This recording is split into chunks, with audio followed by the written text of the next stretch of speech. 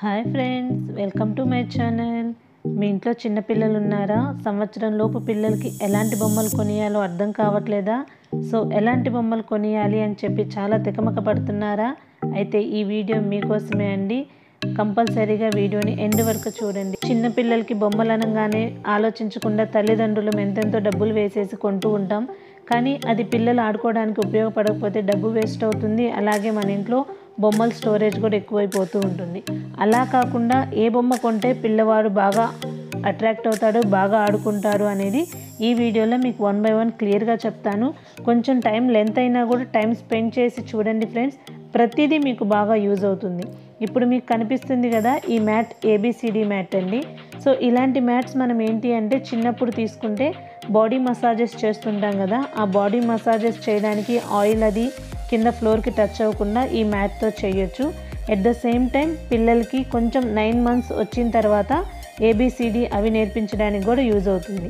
అయితే ఇలాంటి మ్యాట్స్ కొనేటప్పుడు ఎండ్స్ బాగా చూసుకొని కొనండి. ఎందుకు అంటే ఎండ్ స్కోప్స్గా ఉంటే పిల్లలకి కోసుకునే ఛాన్స్ ఉంటుంది. అలానే జారకుండా చూసి కొనుక్కోండి ఫ్రెండ్స్ ఇప్పుడు మీకు కనిపిస్తున్నాయి కదా ఈ బొమ్మలన్నీ ఈ టాయ్స్ అన్నీ మా బేబీవి అండి.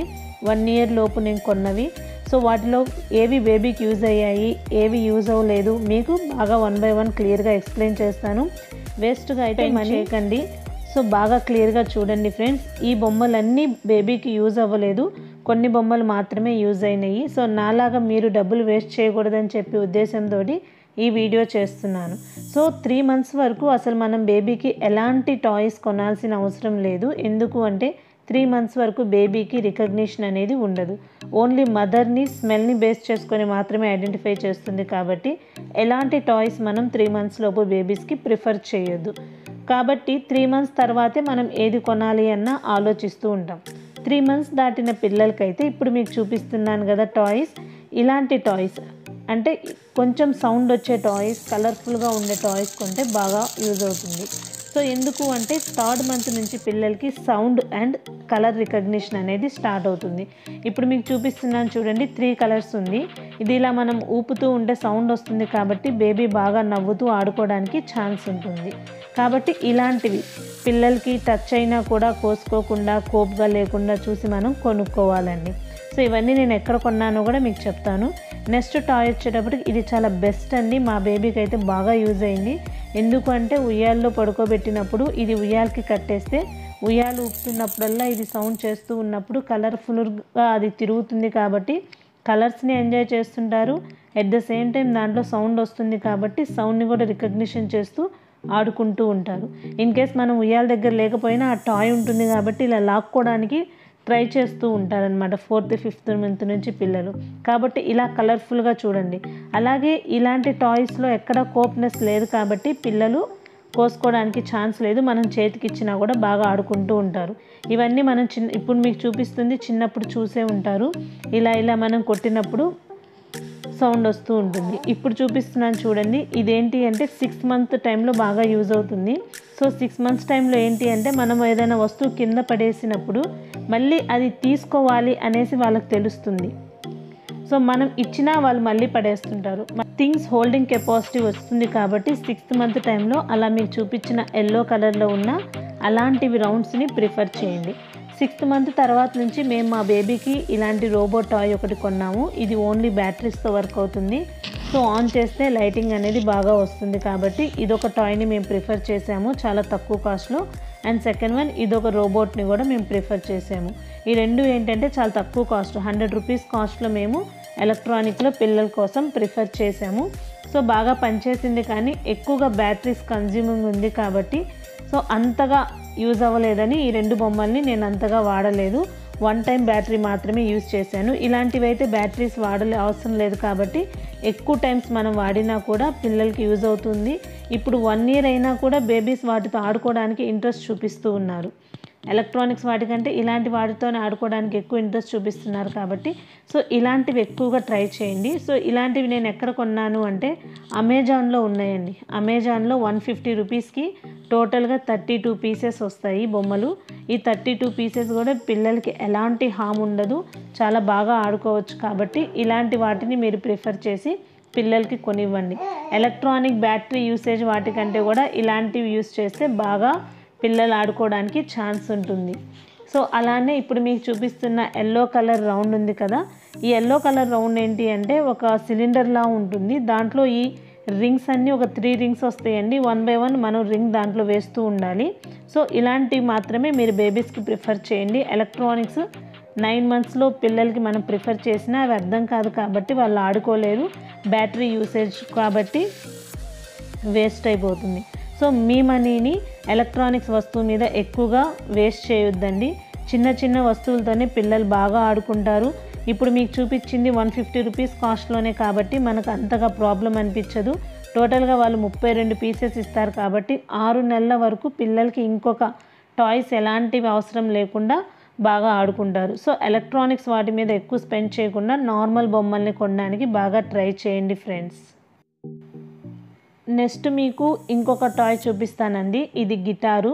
సో ఈ గిటార్ నేను వన్ ఇయర్కి వన్ మంత్ ఉన్నగా కొన్నాను. సో అప్పుడు ఏంటి అంటే తను హ్యాండ్ తోటి వర్క్ చేసుకుని నైన్ మంత్ నుంచి తను కొంచెం ఆడుకోవడం స్టార్ట్ చేస్తూ ఉంటాడు కాబట్టి సో నైన్త్ మంత్లో ఆ గిటార్ కొనిస్తే ఏంటి అంటే తనే ఆ బటన్స్ని ప్రెస్ చేస్తూ ఆ బటన్స్తో ఆడుకుంటూ ఆ బటన్ ప్రెస్ చేసినప్పుడు సౌండ్స్ వస్తుంటాయి కదా ఆ సౌండ్స్ తోటి ఎంజాయ్ చేయడానికి తను బాగా ప్రిఫర్ చేశాడు. సో ఈ గిటార్ కూడా నాకు హండ్రెడ్ రూపీస్లో వచ్చింది కాబట్టి బాగా యూజ్ అయింది. ఇప్పటికీ కూడా అది ఇలానే ఉంది. ఎక్కడా వేస్ట్ అయితే అవ్వలేదు.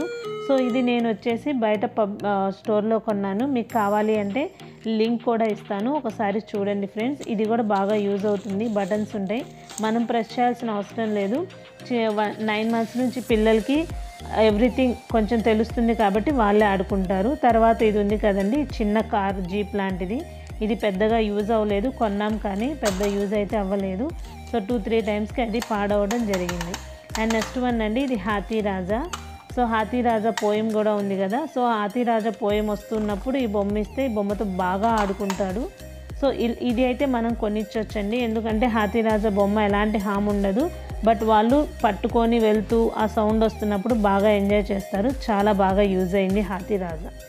సో సిక్స్త్ మంత్ వచ్చిన తర్వాత తను కొంచెం నడవడం అప్పుడప్పుడు పాకడం స్టార్ట్ చేశాడు.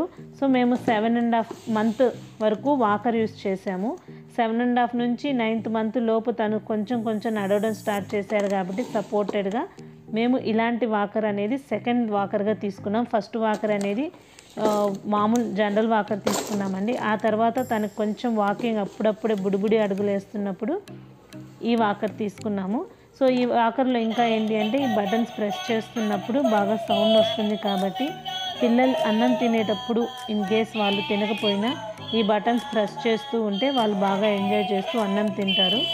సో ఈ ఈ వాకర్ అయితే నాకు బాగా యూజ్ అయింది చాలా బాగా. సో దీని కాస్ట్ వచ్చేటప్పటికి సిక్స్ హండ్రెడ్ రూపీస్ అండి. ఇది కూడా అమెజాన్లో అవైలబుల్గా ఉంది. ఇది కూడా బాగా యూజ్ అవుతుంది. వాకింగ్ వాకింగ్కి పిల్లలకి నడక నేర్పించాలి. కొంచెం బుడిబుడి అడుగులు అయిపోయిన తర్వాత కొంచెం స్ట్రాంగ్గా అడుగులు రావాలి అంటే ఇలాంటి వాకర్స్ యూజ్ చేయండి. సో ఇప్పుడు మీకు చూపిస్తున్న బెలూన్స్ ఉన్నాయి కదా ఇవి కలర్ కలర్ బెలూన్స్ అండి.